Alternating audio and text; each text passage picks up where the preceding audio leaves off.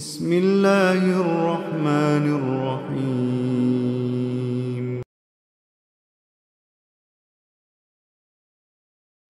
محمد بن عبد الله عليه أفضل الصلاة والتسليم ثم أما بعد Zaista sva hvala i zahvala pripada uzvišenom gospodaru nebesa i zemlje.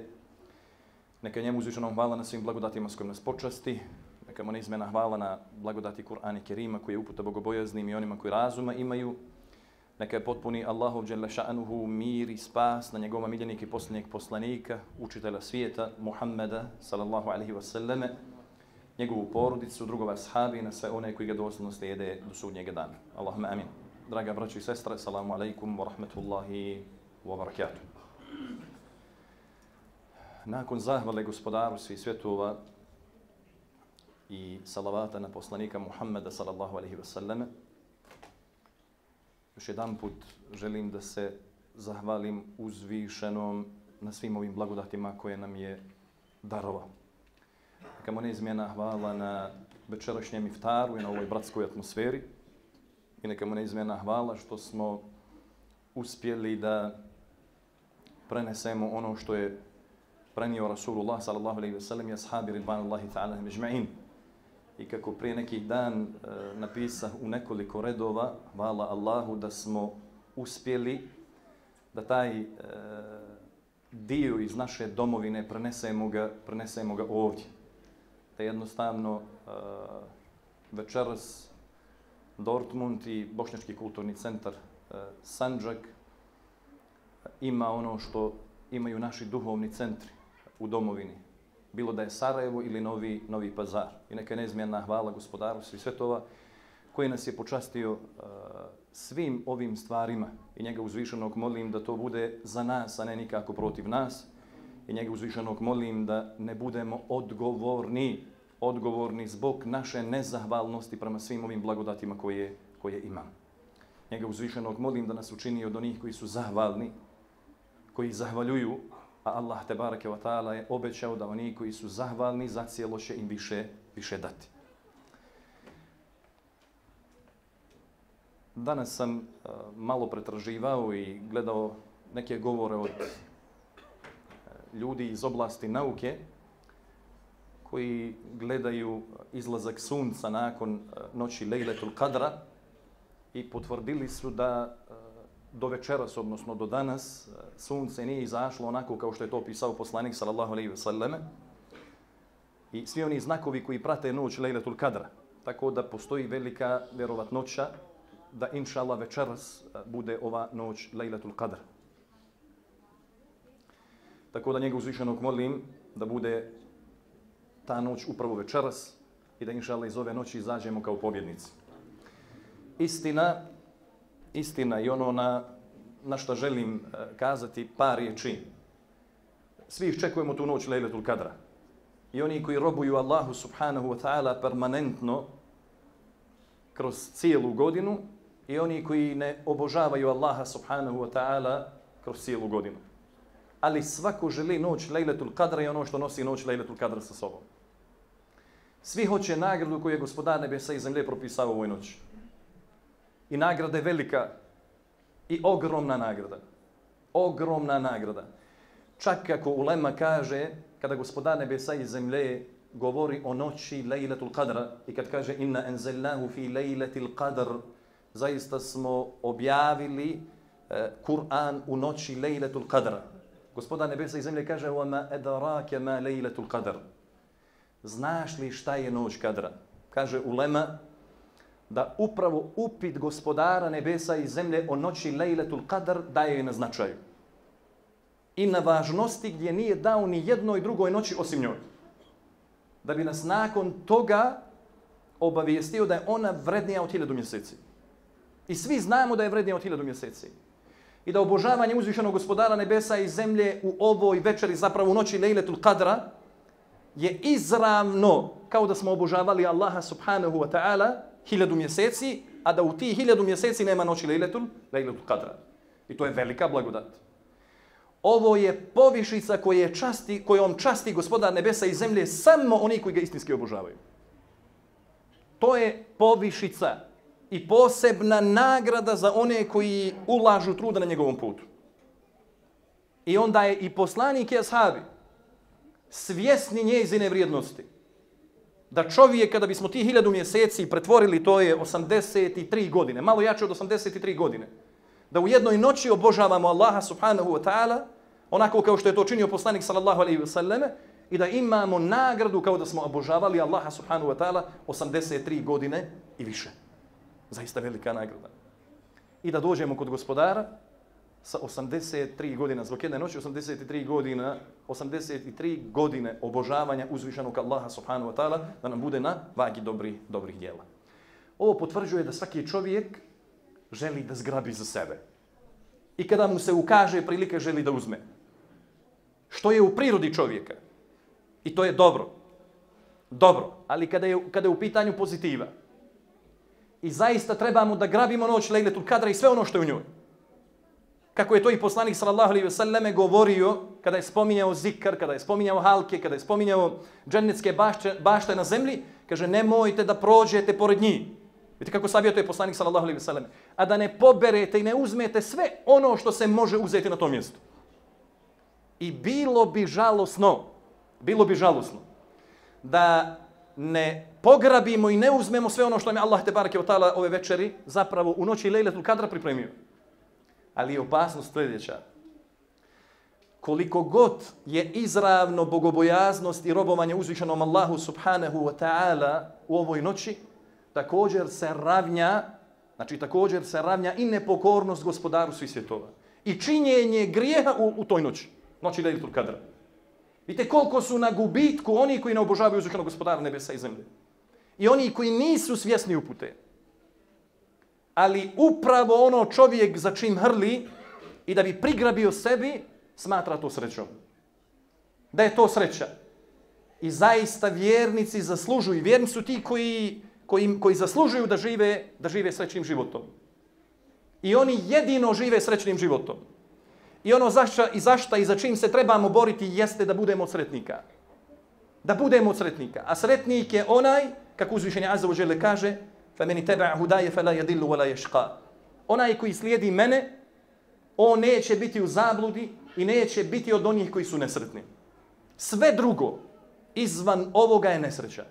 Sve drugo izvan ovog kuranskog ajeta je zabluda. Zabluda. Zašto nam je bitna ova sreća? Upute. Upravo danas ono što sam govorio na hudbi, oni koji su bili tu. Čovjek koji je na uputi, on živi dostojanstveno na zemlji. Čovjek koji je na uputi, on samo poginje svoju kičmu i spusta svoju glavu samo pred gospodarom svih svjetova. Onaj koji nije na uputi, on je bjednik. Gdje god da je bjednik je. Zašto? Zato što uvijek ima ljudski faktor koji je iznad njega. I čovjek je taj kome mora da poginje svoja leđa i da mu čini seđudu. I to je poznato kroz historiju. Ali nažalost i danas je prisutno. I to nažalost među muslimanima. Upravo cijela ova naša priča nekada možda izgleda da je žestoka, da, jer to, da retorika nije dobra i tako dalje. Nismo ovdje došli da spavamo. Niti ljudi koji obožavaju Allaha nisu spavači. Moramo da budimo svoju, svoju misao. Da nismo uspavani. I da ne živimo u nekim bajkama. I da ne možemo da se probudimo. Hoćemo da rastemo gdje god da smo. Da rastemo dostojanstveno. Da znamo pred kim kičmu savijamo. Samo pred gospodarom svih svjetova. Šta god da je tamo na suprotnoj strani. Vjernik koji se istinski boji Allaha, koji je na uputi, koji je na sunetu Rasulullaha sallallahu alaihi ve sellem ne živi na uponiženju. Kako god to imali e, u svojim očima oni koji su na drugoj strani. Koliko god da smatra i onoga koji je na uputi da je od izgubljeni i da je izgubio bitku, zaista su je dobili kod gospodarstva i svjetova. I u tom pravcu moramo podizati svoju djecu. Neću da nam djeca rastu u grču. Vidite ovu hajku medijsku koju imate u svijetu. Sva priča je da našu djecu, zapravo djecu ili općenito svijet, samo da odvrate od onoga što je istina. Pazite, jedina je istina s kojom se ne može manipulisati. Sa svim drugim možete da manipulišete osim sa istinom. Ljudi koji odrastaju na lažima, Ljudi koji odrastaju na neuputi, u dalaletu i zabludi, šta god da im se prinese, šta god da im se servira, oni to prihvataju. I onda je gotovo poniženje. Ali vjernik, njemu ne može svašta da se servira. Pred njim ili na njegovom stolu može samo biti istina. U njegovom tijelu, zapravo u njegovoj duši i njegovom, njegovom srcu, može biti samo istina. A kad je istina temelj čovjekovog odrastanja, življenja, djelovanja, s njim ne može da se manipuliše. Sa njim ne može da se manipuliše. On ne dozvoljava, pa makar bio sam. Pazite sam. Poslanik sallallahu alejhi ve sellem kada je krenuo u misiju, on je imao par ljudi oko sebe. Cijela aparatura je krenula protiv njega. Laš je krenula na istinu. Ali to nije obeshrabrilo poslanika sallallahu alejhi ve sellem i njegovu plemenitu ekipu da kažu mali smo. Moramo im se pokoriti. Naprotiv, nikada se istina nije pokoravala lažima već se je laž morala pokoriti istini. Onda je istinska, istinska istina. Ne samo da živimo pod plaštom istine, a da ne živimo, ne govorimo i ne promoviramo istinu. Pa je na nama da živimo istinu. A istina je samo Kur'an i sunnet. Ako živ, želimo da živimo ponosnim, sretnim životom, dajte da oplemenimo svoje duše i svoje srca. Allahom te barake o ta'ala vjerom, njegovim plemenitim govorom. Wallahi nikad nećemo živjeti u poniženju ljudi su i tekako. Upravo ono što je poslanik sallallahu alaihi ve selleme kazao, ono što su govorili ashabi kada su išli u povode, da je Kur'an knjiga koje, koja uzdiže jedan narod, a druge ponižava. Plašim se da smo se mnogo udalili od Allahove knjige. Plašim se da malo učimo Allahu te barake od tala knjigu. I ono što naučimo, nema u našim životima. I onda je neminovno da dođe poniženje da dođe poniženje kao pojedincu, poniženje unutar porodice, poniženje zajednica, poniženje umet.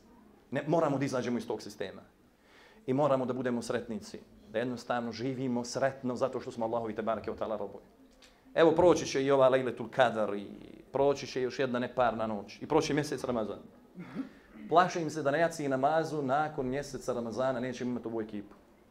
Ne samo ovaj message nego i drugi meseđili širom Njemačke i u domovini, u cijelom svijetu. Šta to govori? To govori o jednoj našoj neozbiljnosti i ne e, poimanju, istinskom poimanju šta znači biti pokoran gospodaru svih svjetova. Braćo moja, koliko god da je sreća uputa i taj moment, moment eh, koji, koji je, ili momenti koje čovjek proživljava uputi, jedan od najslađijih i najsretnijih trenutaka za čovjeka jeste onaj koji je bio na uputi, koji je bio čvrst, ustrajan, koji, je nije, koji nije kampanjski obožavao uzvišenog gospodara nebesa i zemlje. Pa je na tom putu došla smrt. Na tom putu je došla smrt. I u momentu smrtu, smrti kada čovjek dobije najljepše i najbolje vijesti. E, zamislite kako se čovjek osjeća. Čovjek koji je cijeli svoj život obožavao Allaha subhanahu wa ta'ala, promovirao istinu i zbog te istine imao velikih poteškoća. I uvijek on i njegova porodica i njegova zajednica bili na udaru. Ali gospodar nebesa i zemlje nam dao do znanja da oni koji budu čvrsti na tom putu, da će im radosne vijesti još na Dunjaluku. Vidjet će plodove svog, svog robovanja uzvišenom gospodaru svih svjetova. I u momentu, moment kojeg želim da zapamtimo, i koji će nam biti podstrek podstrek do naše smrti, da istinski obožavamo Allaha i da budemo ustrajni na njegovom putu i da ne odustajemo ni jednog jedinog momenta, jeste moment naše smrti. Možda će neko reći zbog čega uvijek smrt moramo da spomenemo. Smrt je nešto zbog čega smo stvoreni. Zapravo to je faza kroz koju moramo da prođemo. A stvoreni smo da bismo obožavali uzvišenog gospodara nebesa i zemlje. Smrt je za čovjeka neminovnost. Ono što svakog očekuje jeste susret sa melekima smrti. Oni koji donose muštuluk ili žalostne vijesti. Odnosno strašne, stravične vijesti. I to ne može niko da izvjegne. Niko. Momenat smrti niko ne može izbjeći. Koliko god da imaju ljudi vlasti na zemlji i da im se čine da su gospodari zemlje, uslovno rečeno, smrt će im stići. Smrt će da im stigne. Isto kao i onom najpokornijem Allahom te barake od ta'ala robu koji je negdje u pustinju šatoru. Ali je razlika velika. Velika. Zašto? Zato što gospodar nebesa i zemlje kaže inne ledine kalu rabbuna Allahu thumme stekamu. Oni koji kažu Allah je naš gospodar, pa ustraju na tome, žive na tome. Čime nas obavještava gospodar? Tenezzelu alejhimul melaike. Njima se spustaju meleki. Njima se spustaju meleki. I govor, Ella tehafu, wa la tahzanu, abširu bil dženneti leti kuntum tu'adun. Moj da se plašite. Nemoj da se plašite. Nemoj da strahujete. Već se radujte džennetu kojom je obišan. Ovo će doživjeti vjernici prilikom svoje smrti. Treba da živimo za taj dan. Da sretnemo meleke koji će nam dati ove vijesti. Da nas obraduju dok naša rodbina bude plakala. Da nam oni kažu da i vidimo u prirodnom obliku, da čujemo njihov glas. I kažemo se ti žalostiš. Pusti ove što plaču neki. Dan, dva, tri, on će prestati. Nemoj da se plašiš sveg onog od kabura pa do dženevskih vrata. Nemoj da se plašiš. Raduj se dženetu koji ti je obećan. Wallahi, wallahi, nek je čovjek živio u najtežem životu. Evo sad uzmemo braću našu u Gazi u Palestini. Prolaze različite golgote. Allah ne dao nikom njihovu jedan dan ili noć. Nikom Allah ne dao. Ali vidite, kad im dođe smrt, koliko god da su imali straha unutar svojih srca, vallahi, u susretu sa melekima koji donose mu štuluke, sve je zaboravljeno. Koliko god da smo imali poteškoća na zemlji, kada se uvjerimo svojim očima u onaj gajb kojeg smo vjerovali i kada vidimo meleke u njihovom prirodnom obliku, Allah mi to je zadovoljstvo. to je sreća. Tu čovjek sve zaboravi. Koliko je nas koji smo prošli mnoga iskušenja. Koliko je nas koji smo prošli siromaštvo. Pa nam je Allah dao nakon tog siromaštva bogatstvo. Ko se sjeća tog siromaštva? Onako samo nekad u priči. E, sećaš li se, bilo je o panci i sve ostalo. Ali niko ne živi više u toj priči. Zašto? Zato što je sreća, izobilje nadvladalo nešto što je samo. Iza nas. Ali je sastavni dio našeg života. Ali je to prethodilo da budemo tu gdje jesmo. I da osjećamo ljepote i užitke onoga što imamo. E i u tom momentu kada nas gospodar bude počastio radosnim vijestima, da smo inša Allah stanovnika dženneta, Allah ništa nema u zamjenu. Ništa. Ne postoji, ne postoji stvari, čak onaj najsiromašniji za kojeg niko nije znao, koji je imao hiljade i hiljade problema, da mu dođu meleki kažu raduj se džennetu kojim ti običan. Ma ne bi se on mijenjao da je stotine dunjaluka ni vladarima, svim tim koji su na pozicijama. Nit bi im dao jedan jedini dan iz njegovog života, iako su bile poteškoće. Vidite kako gospodar nebesa i zemlje nagrađuje one koji su strpljivi. I na posljedku kaže nahnu eulijaukum fil hayati dunja u fil ahire. Mi smo vaši čuvari. Allah nam daje čuvare da imamo meleke na zemlji koji su nam čuvari. Općenito čuvari u našem životu. Čuvari u momentu i naš bodyguard dok ćemo preseljavati se gospodaru svih svjetova čuvari kroz kabur sve do ženskih kapija. Allah mi počast. Počast. A još veća počast od, od svega ovoga jeste, često govorimo, e, dan nam je sa poslanikom, sallallahu alaihi sallam. I večera smo ovdje, da bismo bili sa Rasulullahom, sallallahu alaihi sallam. Da bismo bili u njegovoj blizini. Da bismo pokazali da volimo njegov sunnet. Da se borimo gdje god da smo, da, da, da živimo njegov sunnet. Međutim, nekada možda čovjek i pita sebe da li ću biti u društvu poslanika sallallahu alejhi ve sellem. Koja su to djela koja čovjeka približavaju i Allahu i poslaniku alejhi salatu ve selam. Jedne prilike se Uban radijallahu an došao je poslaniku alejhi salatu ve selam i to onaj Seuban koji je bio rob pa ga je poslanik sallallahu alejhi ve sellem oslobodio. I to isti onaj Seuban kojeg su roditelji došli da uzmu a on je bio između svojih roditelja i poslanika sallallahu alejhi ve sellem. i kada su roditelji rekli poslaniku alejhi salatu ve selam i kaže došli da ga uzmemo Allahov poslanice nakon što se ga oslobodio kaže poslanik sallallahu alejhi ve sellem Sauban radijallahu an bira hoće li ići sa vama ili ostati sa poslanikom alaihi salatu wasalam. Zamislimo sebe samo na moment. Da bismo približili ovaj kuranski ajet koji je objavljen povodom ovog čovjeka. Gleda u svoga baba i majku koja neizmjerno voli roditelji, nećemo ni da pričamo o njihovoj ljubavi prema svom seubanu. E zamislite seubana između poslanika sallallahu alaihi wasallam i svojih roditelja. Gleda u njih, majka plače, hoće sa svojim sinom da se vrati za Jemen. I gleda u poslanika alaihi salatu wasallam. Kaže, roditelji moji, idite vi za Jemen, ja ostajem sa Rasulullahom sallallahu alaihi wasallam. I ostavaš sa poslanikom.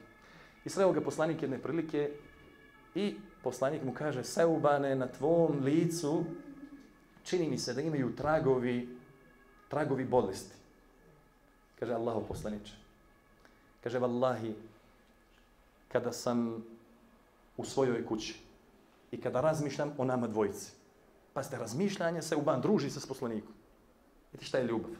Druži se s poslanikom i on razmišlja kući. Ja, rabbi, preseliću, da li ću biti u društvu poslanika, sallallahu alaihi sallam. Gospodaru poslanika, ne im deređama, a ja možda neću biti ni na tim deređama, zapravo neće biti na deređama svakako, ali možda neću biti u prilici da budem sa njim. A šta ako ne budem ustanovnika dženeta? I kaže, vallahi Allaho poslaniče, ta razmišljanje me baca na postelju. Ja se razbodim. I ove tragove koje vidiš na mom licu, Allaho poslaniče, kaže, vallahi su od toga. Vidite, šta, šta izaziva bolest kod ljudi? I on pita poslanika, kaže, Allahu poslaniče, hoću li ja biti sa tobom? Poslanik sallallahu alaihi sallam šuti. I gospodar nebesa i zemlje e, spustio je kuranski ajet koji ne samo da je obradovao se Ubana, nego obradovao, obradovao muslimane, vjernike do sudnjeg dana.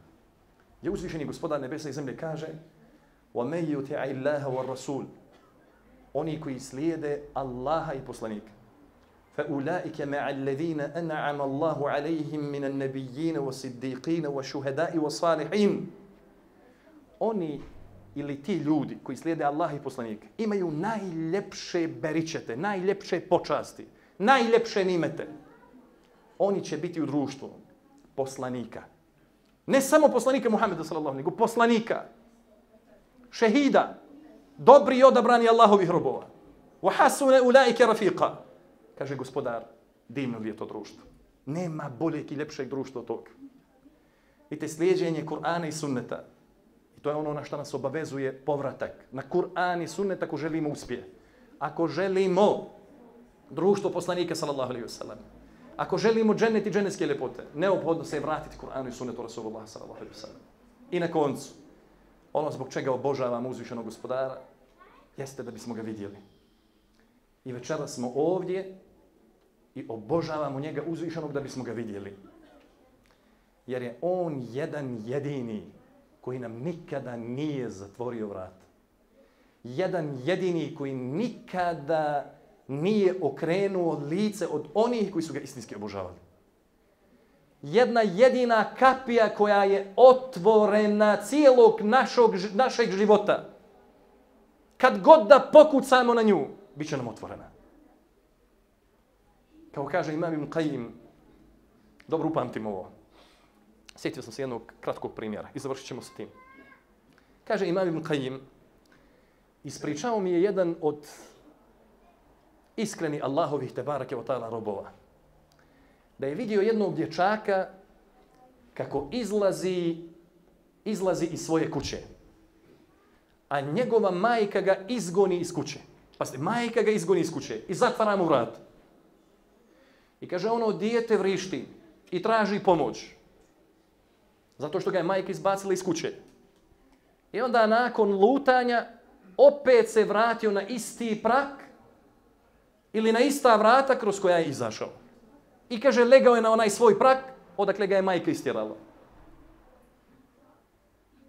I onda nakon izvrsnog vremena majka otvara vrata i vidi svoje dijete na pragu. I onda ga uzima u svoje naručje. I ona počinje da plače. Kaže, zašto ideš od one, od one koja ti želi dobro.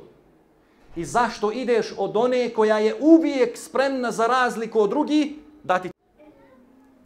Pa kaže Imam Ibn Qayyim rahimahullah, dok sam slušao ovaj primjer i dok smo analizirali ovaj primjer, stavili smo se u poziciju ove majke i u poziciju, odnosno e, u poziciji da smo ispred gospodara svih svjetova. Vidite, majka koliko god da gurne dijete u datom momentu zbog ljutnje, opet se to dijete kome se vraća? Kad mu je teško, vraća se majci. Vraća se majci. I čovjek, čovjek koliko god da mu je teško i nekad kad okrene leđa od gospodara, koliko da se god odmetne kada mu dođe poteškoća, kada ga svi napuste, na čija vrata pokuca? Na vrata gospodara. Kuca na vrata gospodara svih svjetova. A šta kaže poslanik sallallahu alaihi wasallam? Gospodar je milostiviji prema svojim robovima nego što su majke milostive prema svojoj djeci. Allahu ekbar. E zamislimo kad budemo u džennetu, u džennetu. Zbog svega onoga što smo činili na zemlji. I kada nam se bude gospodar nebesa i zemlje obratio, i kada nas bude upitao treba li nam šta nakon što nas se nastani u džennetu, šta ćemo uzviknuti, kako je došlo u hadisu poslanika, sallallahu alaihi sallam. Gospodaru, izbavio si nas iz džehennema, zaštitio džehennema, nastanio si nas u džennetu, dao si nam sve ljepote, šta više? A gospodar kaže danas, spustam svoje zadovoljstvo na vas i nikada se više neću rasrditi na vas. Nikada moje zadovoljstvo, koje je veće od svega ovoga što smo spomenuli. A nakon toga gospodar nebesa i zemlje će maći zastor ili otkloniti zastor između njega i nas. I da gledamo onoga kojega smo obožavali. Njega uzvišenog molim da nam par ovih riječi budu od koristi. Da istinski obožavamo Allaha subhanahu wa ta'ala. Da budemo njegovi uh, robovi koji ga obožavaju onako kao što ga obožavao poslanik sallallahu alejhi ve sellem i ashabi radvanullahi ta'ala međmenim. Njegov uzvišenog molim u ovoj mubarek noći da nam podari pobjedu na dunjalu koji pobjedu našoj braći gdje god se oni nalazili. Njega uzvišenog molim da našu braću u Gazi i Palestini pomogne, da im podari zdravlja, da ih nahrani iz njegovih, njegovih riznica, da ih zaštiti od e, njihovih i njegovog e, i njihovih njegovih e, neprijatelja, nego uzvišenog molim na koncu da ovo što činimo i radimo nam bude na vagi dobrih djela i da nas uzme onog momenta kada nas u potpunosti očisti od grijeha, da nas proživi u društvu poslanika Muhammeda sallallahu alejhi ve selleme, u društvu šehida, dobri i odabranih njegovih robova, njegov uzvišenog molim da gledamo a, u njegovo plemenito, plemenito lice, onako kao što je to obećao poslaniku sallallahu alejhi ve sellem. I naša posljednja dova jeste neka hvala Allahu wa qulu qawli hada astaghfirullahi li wa lakum wa akhiru da'wana alhamdulillahi rabbil alamin wa salamu alaykum wa rahmatullahi wa barakatuh.